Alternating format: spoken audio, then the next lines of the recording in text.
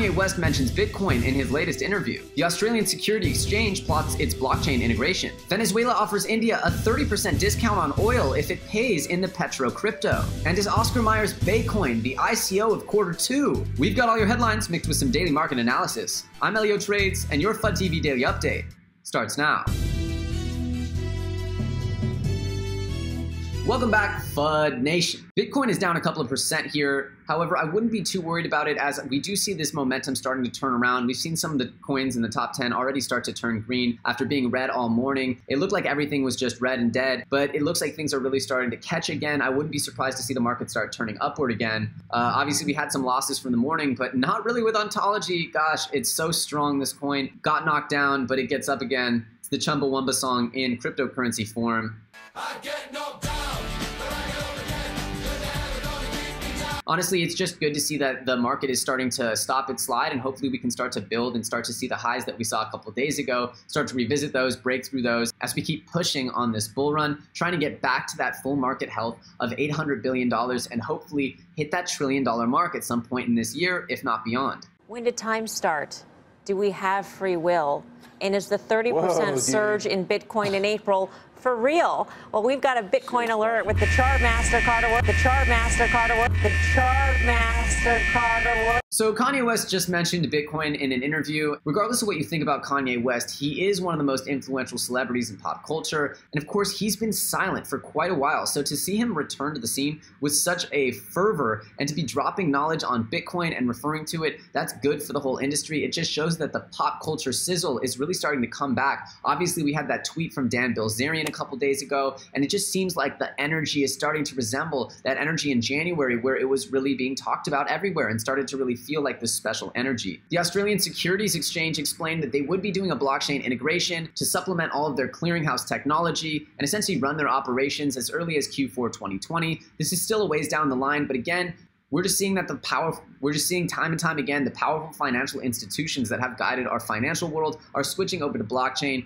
it's no longer a question of if but a question of when how fast and what form it's all going to take just more good crypto news guys what do you want now, this I find interesting because we're seeing here how the Venezuelan petrodollar is really becoming this political statement, but as well, it's like this experiment, right? This country, Venezuela, is financially insolvent. Like, it's got huge financial issues.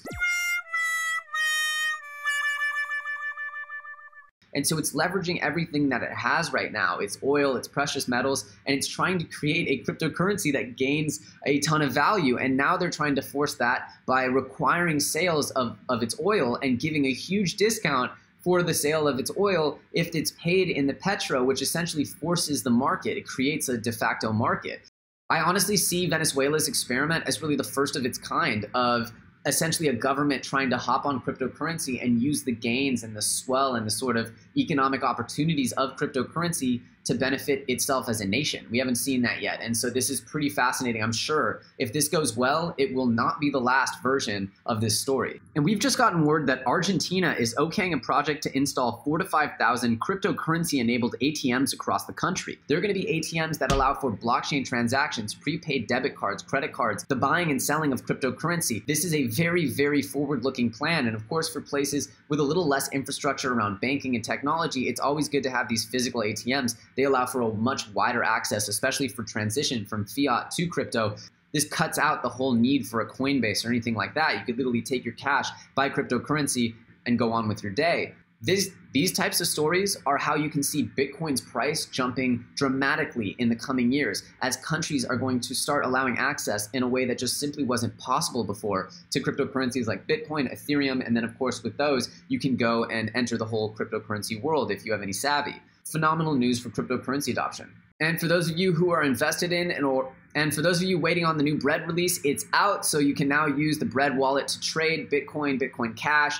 Their wallet is now up live. You can check it out. Of course, there's some rewards programs involved, and they're going to be doing some airdrops in anticipation or a promotion rather of their release. So cool stuff. Of course, if you're invested in Bread, this is good news as they're delivering their tech. And this, my fellow Fudsters, my Fudtastic familia, is a work of genius. Oscar Mayer has just announced Bacoin.